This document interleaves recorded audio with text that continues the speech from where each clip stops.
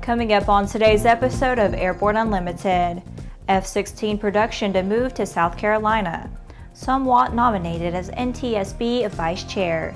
DJI proposes electronic ID framework for small drones.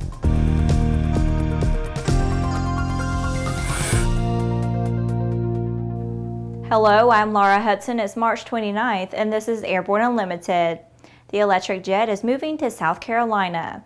The production line for Lockheed Martin's F-16 fighter jets will be moved from Fort Worth, Texas to Greenville, South Carolina, according to company officials. The company says it will roll the last Texas-built F-16 off the line in September, at which time all the equipment and tools for manufacturing the aircraft will be transferred to Greenville. The Fort Worth plant will be expanded to produce F-35 Lightning II airplanes. Lockheed Martin has had a presence in Greenville for more than 30 years. According to a company spokesperson, Leslie Farmer, Farmer said that the Greenville plant has the necessary facilities and infrastructure to support F-16 production with only a few updates. The state's experienced workforce and right-to-work laws also played a part in the decision, Farmer said. Adding the F-16 to the Greenville campus will bring an additional 200 jobs to the state. There are currently some 500 people working for the company in Greenville. President Donald Trump has nominated Robert L. Sumwalt III to be a member of the NTSB for a five-year term expiring December 16, 2021. He has also been nominated to serve as a vice chair of the board for a two-year term. Sumwalt, who is from South Carolina, has been a member of the NTSB since 2006. He served as NTSB Vice Chairman from 2006 to 2008.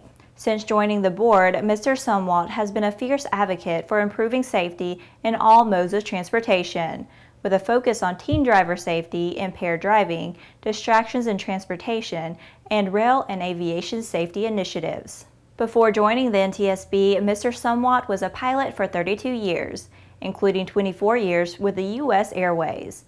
He has a distinguished transportation safety background, and his groundbreaking contributions to safety have been recognized by a number of prestigious industry awards. He is an inductee into the South Carolina Aviation Hall of Fame. Mr. Sumwalt earned an undergraduate degree from the University of South Carolina and a Master of Aeronautical Science from Embry-Riddle Aeronautical University, with concentrations in aviation aerospace safety systems and human factors aviation systems.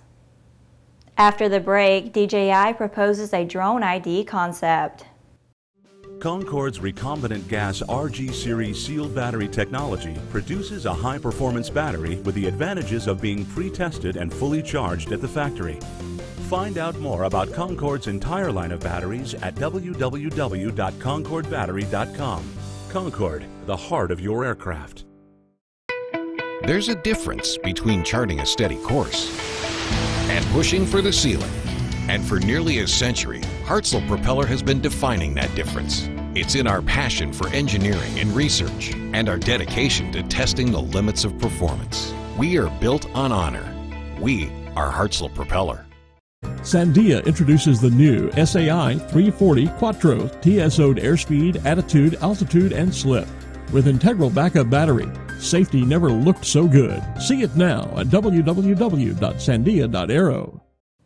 Welcome back. If you have a story suggestion for Airborne Unlimited, Aero TV, the new AMA drone report, our website or podcast, just email to news-spy at aero-news.net. DJI has proposed an electronic identification framework for UAS that would allow authorities in the United States to identify drone owners when necessary while also respecting their privacy.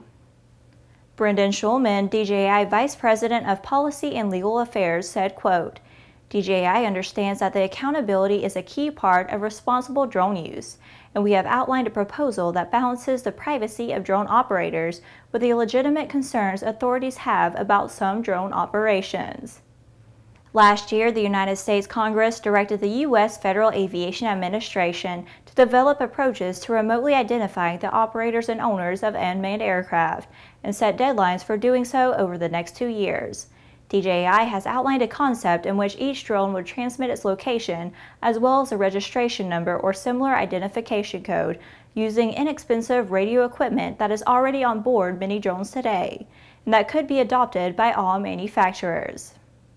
Anyone with a proper receiver could obtain those transmissions from the drone, but only law enforcement officials or aviation regulators would be able to use that registration number to identify the registered owner. The best solution is usually the simplest, DJI wrote in a white paper on the topic. The focus of the primary method for remote identification should be a way for anyone concerned about a drone flight in close proximity to report an identifier number to the authorities, who would then have the tools to investigate the complaint without infringing on operator privacy. Last week, DJI submitted the white paper to the Association for Unmanned Vehicle Systems International, which is collecting perspectives on how to remotely identify small drones in the United States in advance of an FAA effort to develop a consensus approach. With some 3,000 Aero TV programs webcast to cyberspace, sometimes it can be fun to look back and enjoy some of the places we've seen, the flyers we've met, and the planes we've flown. Here's a look at one of our favorite Aero TV classic episodes.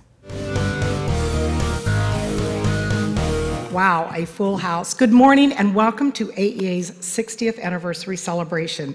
Here it is, the full archive of A&N's amazing live production of the 2017 AEA opening address and new product introductions. See all the cool stuff from AEA 2017. Search AEA 2017 opening address and new product introductions on Aero TV's news channel. After these messages, Elite certifies motion-based trainer. Since the early days of powered flight, pilots have struggled with landing in crosswinds. In fact, crosswinds and wind gusts cause more landing accidents than fog, thunderstorms, and icing combined. That's where the Redbird X-Wind SE comes in. By placing pilots in gusty crosswind conditions for extended periods of time, the X-Wind SE gives instructors all the time they need to teach the pilot the proper techniques for landing in crosswind conditions. For more information on Redbird X-Wind SE and Redbird's entire line of flight training devices, visit www.redbirdflightsimulation Based on the popular Sling 2 LSA, the Sling 4 was designed to be the most practical and desirable lightweight four-place experimental aircraft on the market. Find out more about this 115 horsepower turbocharged airplane at airplanefactory.com. Welcome back. With so much news coming out of the aviation industry, we're summarizing some other interesting stories in a brief segment we call around the patch.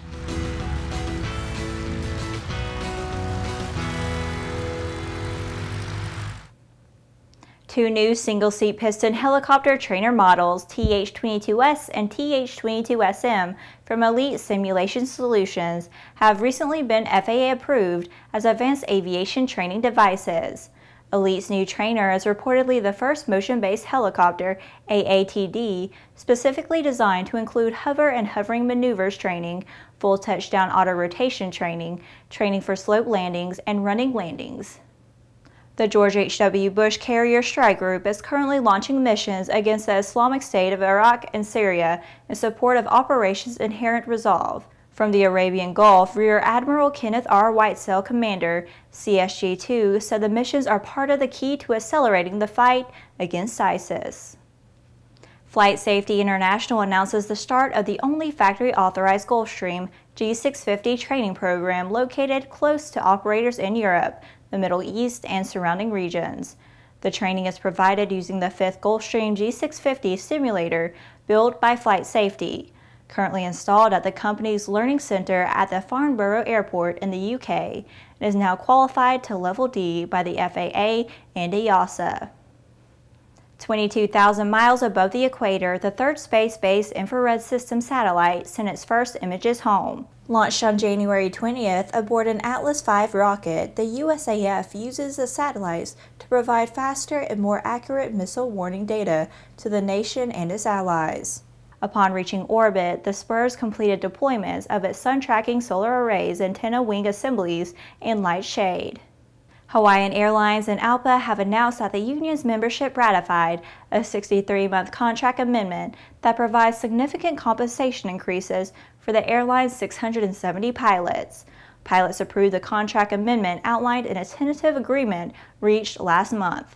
The amendment takes effect April 1st and its terms extends through July 1st, 2022. Well, that's it for today's trip around the patch. Now let's move on to the rest of the news. The order book for Marenco Swiss helicopter SKYe SH-09 has reached 101 aircraft according to the company. The milestone was reached following the company's participation in Heli Expo 2017. A contract for the 101st helicopter was signed at the event, the seventh for the company. The MSH team has seen continued interest and strong motivation of the industry to get the latest testing and development news, and all are looking forward to beginning operations of the SKYe SH-09 helicopter in their respective environments.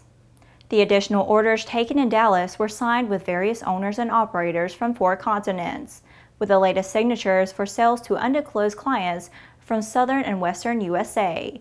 Chief Commercial Officer Matthias Seen said this team achievement confirmed what people say about Texas everything is bigger.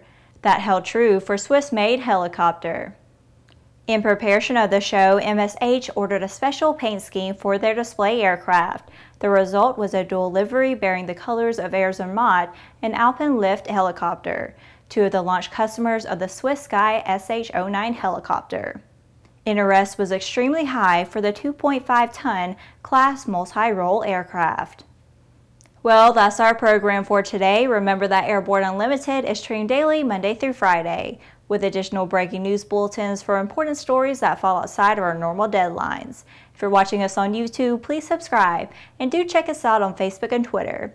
Get comprehensive, real-time, 24-7 coverage of the latest aviation and aerospace stories anytime at aero-news.net. See you tomorrow.